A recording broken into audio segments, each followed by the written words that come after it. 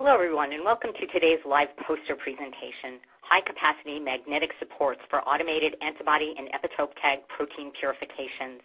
The presenter is Barbara Kaboord, PhD, Senior R&D Manager for Protein and Cell Analysis at Thermo Fisher Scientific. I'm Judy O'Rourke, and I will be your moderator for this educational webcast presented by LabRoots and sponsored by Thermo Fisher Scientific. Before we begin, I would like to remind everyone this event is interactive, and we encourage you to participate by submitting as many questions as you want at any time you want during the presentation. Just click on the green Q&A button located in the lower left of the presentation window and type your question into the box that appears on the screen. We'll answer as many questions as we have time for at the end of the presentation. Also, please notice you'll be viewing the poster in the slide window. To enlarge the window, just click on the screen icon located on the lower right. If you have trouble seeing or hearing the presentation, please click on the support button at the top right of the presentation window, or use the Q&A button to let us know that you're having a problem. This webinar has been approved for continuing educational credits. Please click on the CE button at the bottom left corner and follow the process to receive your credits. Please join me in welcoming Dr. Kaboord. Dr. Kaboord received a PhD in biochemistry from the Medical College of Wisconsin. Her postdoctoral fellowship was performed at the Pennsylvania State University under the direction of Stephen Benkovic. Dr. Kaboord has over 20 years of industry experience, and she currently leads a team of R&D scientists in new product development in the areas of protein interactions, affinity chromatography, and protein sample preparation. I will now turn the presentation over to her. Thank you. Hello, everyone. Um, I will be presenting the poster high-capacity magnetic supports for automated antibody and epitope tag protein purifications.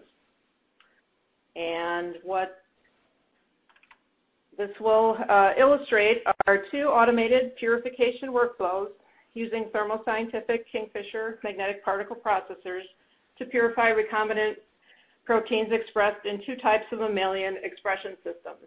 And so these systems, or the two that I will be talking about today, are ExpiCHO and Expi293, which are two mammalian cultured cell systems. And uh, the last is the high-yield human, or HeLa IVT system, which is an in vitro system, uh, translation system capable of synthesizing uh, up to 750 micrograms of recombinant protein per mil of lysate. So both systems express a lot of protein and that's one of the advantages of using them, as well as that uh, they provide a greater probability of correct folding of the protein. Uh, they also uh, put on relevant PTMs or post-translational modifications and also uh, produce proper disulfide bond formation. So the, um, both expression systems can be used in high throughput situations and automating uh, these small-scale purifications is helpful when handling multiple patient samples or libraries of overexpressed clones uh, when you're screening uh, expression conditions or optimizing purification protocols. Uh, traditionally, the purification matrix that's usually used for in automation is magnetic beads. But traditional magnetic beads um, are typically low capacity. And so the high capacity choice, uh, most commonly used in, in protein purification is agarose, but that has a high capacity, but you can't automate it. So I'm going to talk about a system where uh, that's called magnetic agarose that combines the best of both worlds, both the high capacity and the ability to automate. And so this next table shows some of the characteristics of magnetic agarose. Uh, basically, that it consists of a highly cross-linked agarose support.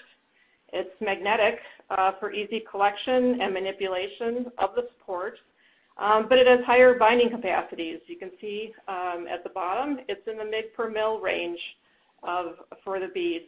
And this is in contrast to the microgram quantities that are typically purified with traditional magnetic beads. So in the data to follow, I will show automated purification workflows for recombinant antibodies expressed in ExpiCHO and Expi293 using protein AG magnetic agarose, and also purification of DYK, D4K epitope tag proteins using an, an mobilized antibody support uh, specific for that tag. So to start off, the first purification scheme utilizes covalently immobilized protein AG. And so I want to talk a little bit about protein AG. It's a chimeric protein containing five binding domains of both protein A and also two binding domains of protein G. So as you can see from the schematic drawing of the antibody shown here, these binding domains recognize different regions of the antibody molecule. So the chimeric protein AG provides broader isotype and species selectivity on one purification support. This graph shows that protein AG readily binds IgG from a variety of species such as mice, uh, humans, and rabbits. And the very similar sets of blue and red bars show that the protein AG magnetic agarose performs equally well in both a manual and automated format. And by manual, I mean collecting the magnetic beads uh, using a stand and, um, and pipetting wash buffers.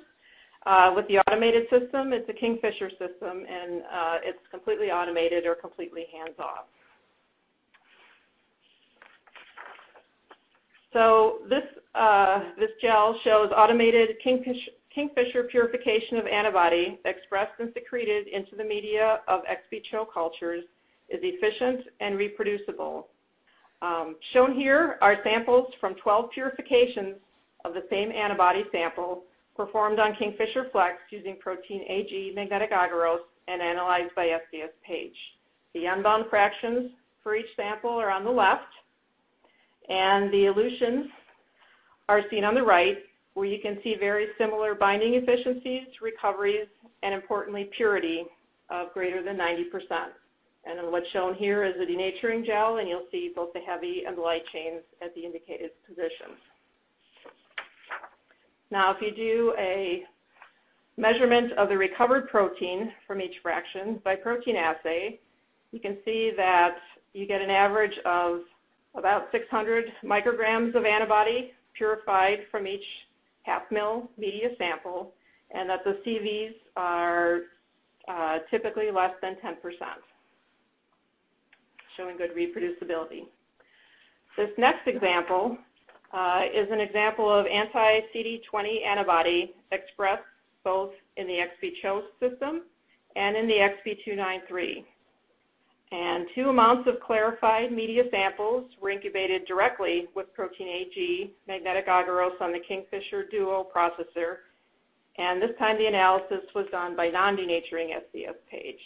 So here you can see the high molecular weight position of the purified antibody in each elution fraction at the top of the gel. So antibody was efficiently bound with little to none in the flow-through or FT lanes and uh, recovered efficiently in elution lanes with greater than 95% purity.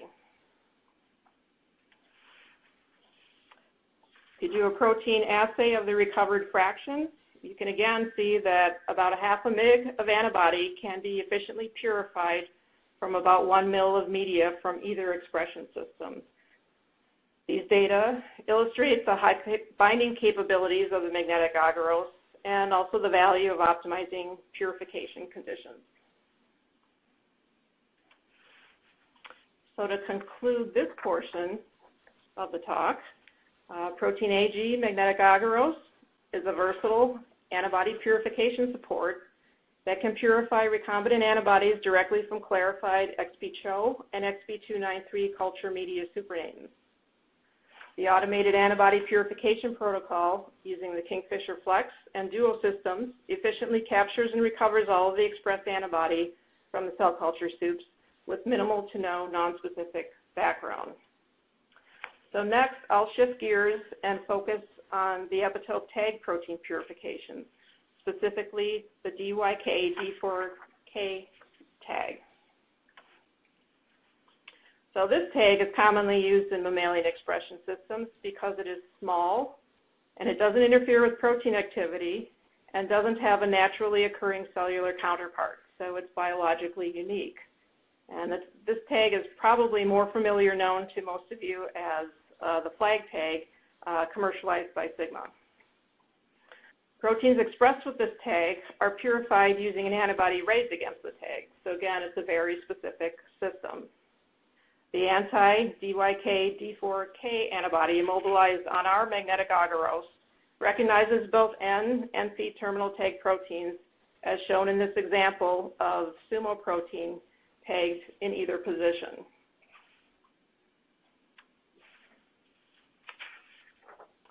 Automated purifications of tagged GFP and green renilla luciferase expressed in a high-yield HeLa IVT system were performed using the Kingfisher Flex magnetic particle processor and the anti-DYK D4K or anti-flag magnetic supports from Thermo Fisher Scientific or Sigma. Western blots of the load or the L lane, unbound or flow through FT lanes, eluted fractions marked by an E, and residual B-bound samples show that the anti-DYK D4K tagged proteins were efficiently bound and recovered with the Thermo Fisher magnetic agarose much more so than with the corresponding sigma anti-flag beads, which showed a significant quantity of tag protein still in the unbound or flow-through fraction. And this is the case with both GFP on the top and the green renilla uh, protein expressed and purified on the bottom panel.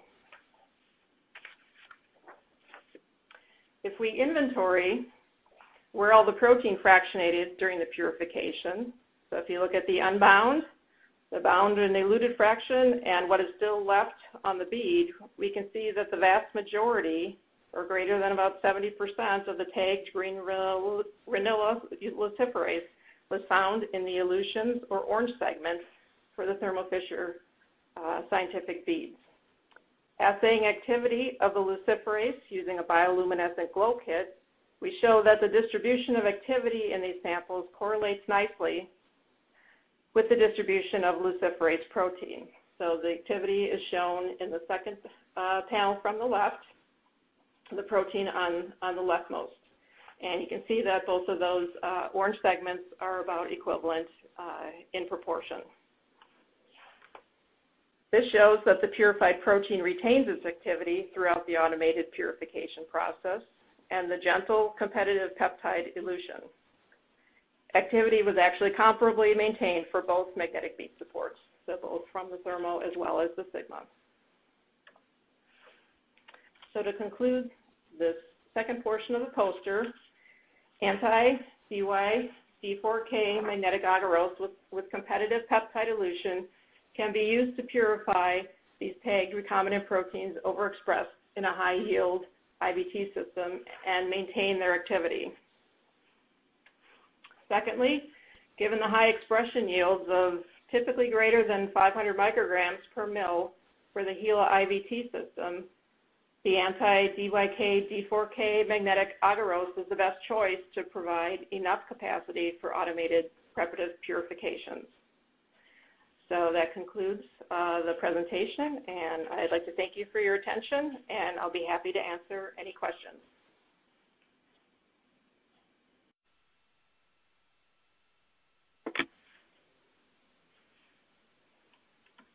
Thank you, Dr. Kaboord, for that informative presentation. We will now start the live Q&A portion of the webinar. If you have a question you'd like to ask, please do so now. Just click on the green Q&A button at the lower left of the presentation window. Type your question into the box that appears on your screen and click on the send button. We'll answer as many of your questions as we have time for. So let's get started.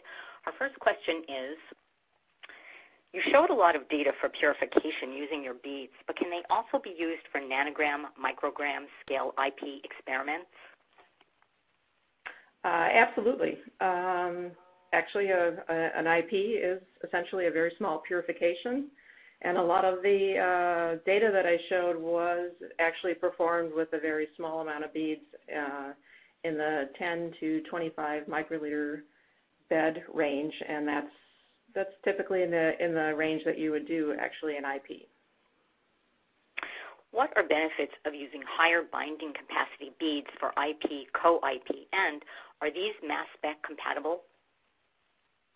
Uh, sure. So the benefits of using the higher binding capacity beads, uh, that would include, uh, well, they're, they're good for lower abundant targets. Um, so a lot of times the more antibody you have on the beads, it's, it's kind of like adding avidity. So uh, you can capture uh, lower abundant targets or, weaker interactions. Um, you can also use less beads. I mean, so you can use very uh, very small amounts, and obviously the fewer beads that you use, the um, the lower the background. So um, the higher the binding capacity per volume of beads, the better in terms of controlling background as well as capturing all of your target. Uh, with respect to the second part of the question, as to whether these are mass spec compatible, uh, yes, we have uh, used some of these beads, specifically the protein AG beads, in proteomic experiments, and their background is very low, so it's actually very good for surveying the total protein landscape. Is the tag removal following elution? Um, the so I'm I'm assuming that question is with respect to the uh, DYK D4K tag, and um, yes, you can cleave that. So the with enterokinase, so that tag or that uh, recognition sequence is inherent and built into that tag. And so as long as that tag is present with the four Ds and the K, you will um, you'll be able to cleave that. Now we haven't done that for, uh, we haven't used a, a, protease to elute the, the, the captured protein, um, but you can easily cleave it off after it's eluted. Right. What other magnetic beads have you developed that offer milligram scale binding capacity?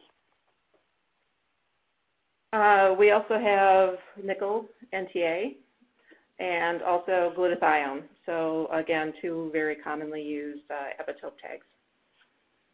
Is it true that one can elute N-terminal flag tag proteins with enterokinase? Yes. So that that that uh, protease sequence is part of the the DYK D4K. Um, can you elute with it? Uh, I think people have. Uh, it's going to largely determine or depend on your protein and the accessibility of the tag and that cut site and whether the, protease can get in there. So it would have to be tried on, on an individual basis with your protein.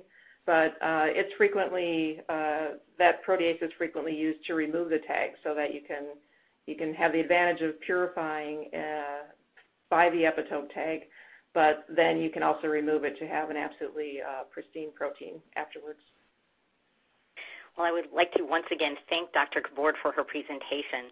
I would also like to thank LabRoots and Thermo Fisher Scientific for making today's educational webcast possible.